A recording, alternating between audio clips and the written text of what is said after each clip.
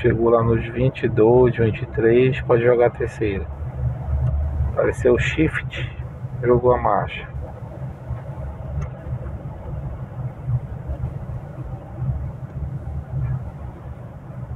Passando do ladinho, liga seta e devolve a seta de volta. Mas sempre essa seta tem que ser a seta para ir e a seta de volta, entendeu? Um exemplo, ah, eu dei a seta só para ir e na volta, não dei de volta. Aí vai perder. Dá, né? É. Além de tu dar a seta de volta, tu tem que olhar ainda no retrovisor aqui, para esse lado, só para fazer aquela procedimento que tu tá ligado, né?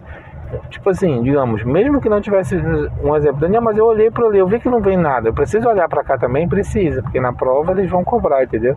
Porque na verdade o o Detran ele não te avalia como se tu estivesse dirigindo aqui, nesse percurso do Mangueirão. O que, que ele te avalia? A forma correta de se dirigir. Então, se fosse na rua, tu teria que olhar para cá, porque já tinha um motoqueiro do teu lado aqui. Tu entendeu? Então, é mais ou menos isso. É a forma correta de se dirigir, né? Aí aqui conversão à direita, que tá o obstáculo lá, ó. Aí vai freando, aí tu faz a redução por segundo. Reduzir com antecedência. Vai largando devagar o pé da embreagem, vai. não acelera. Vai só com a velocidade do carro. Girando. Gira mais. Que eu posso manter o, o pé no freio, né? Pode. Aí só não, o certo é não manter o pé na embreagem, porque teu carro tá andando em movimento. Abre mais lá a curva para sair do buraco. Que um exemplo, vira mais. Ah, eu vou deixar meu pé na embreagem porque para deixar lá para qualquer coisa não pode, porque o sistema ele pega o pé na embreagem. O carro tá andando em movimento. O único momento que é permitido a- o pé na embreagem é na minha saída, quando eu tô saindo com o carro devagarzinho, e quando eu tô na baliza. Mas em outro momento que eu esteja dirigindo, meu carro, meu pé tem que ficar livre da embreagem. Acelera mais um pouco, desenvolve a terceira. Aqui senta de volta. Aí desliga e já permanece colado com a linha. Isso, que é para te salvar desses buracos aí.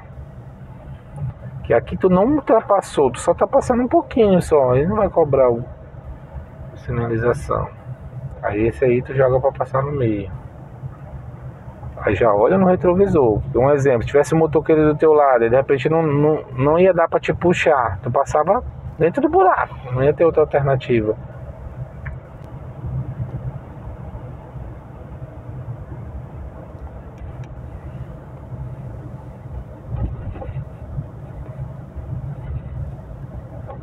Vamos fazer a conversão à direita, sinaliza. Aí bem aí tu vai fazer o processo para reduzir. Para entrar aí.